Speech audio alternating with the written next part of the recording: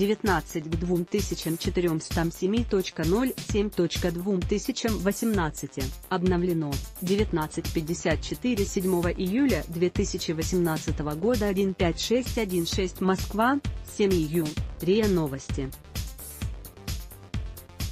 Накал в отношениях между Россией и США стал ослабевать. Свидетельство тому, в том числе, участившиеся встречи парламентариев обеих стран, считает зампред Комитета Совета Федерации по международным делам Владимир Джабаров. Сегодня по инициативе американской стороны снова состоялась очередная встреча в Бундестаге, где проходят мероприятия летней сессии по ОБСЕ. Это говорит о том, что некий накал в отношениях между Россией и США начал ослабевать.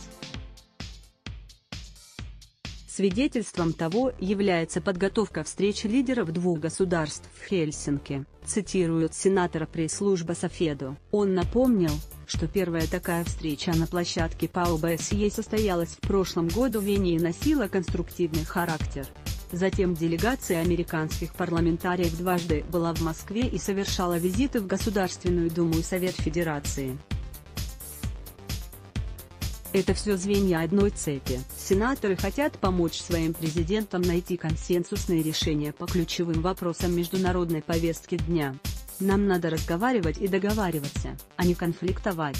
Усиливающееся взаимодействие двух государств благотворительно сказывается на всей мировой политике, сказал Джабаров.